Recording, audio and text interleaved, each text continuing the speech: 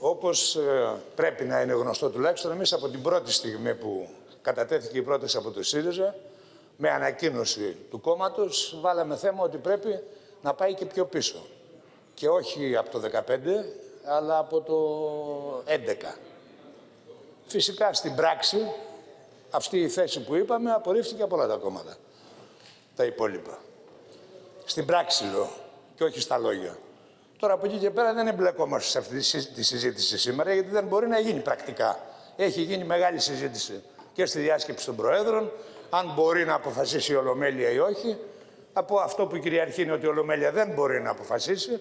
Τώρα από εκεί και πέρα στην Επιτροπή θα δούμε τι μπορεί να προκύψει. Επομένως, κατά τη γνώμη μας, δεν έχει νόημα αυτό το, η αντεπίθεση εντός εισαγωγικών της Νέας Δημοκρατίας. Σήμερα και είναι για λόγους εντυπωσιασμού.